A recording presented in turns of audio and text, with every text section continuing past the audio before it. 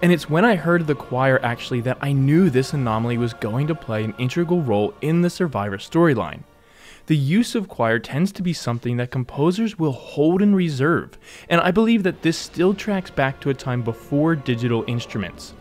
At that point, composing for choir would have required then hiring a 30 to 60 piece choir and suffering the financial costs of such a large group. It's the primary reason why most classical symphonies don't employ choir as well. Something would have needed to truly be special and in complete need of choir in order to validate the costs.